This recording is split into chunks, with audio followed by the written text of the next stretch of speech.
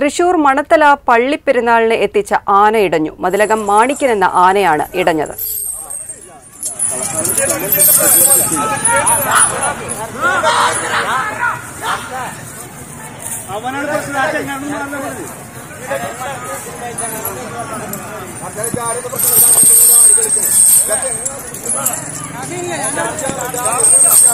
വിവരങ്ങളുമായി ഇപ്പോൾ ആണ് ചേരുന്നത്. അജീഷ് ആനയെ തളയ്ക്കാൻ സാധിച്ചോ? എന്താണ് വിവരങ്ങൾ?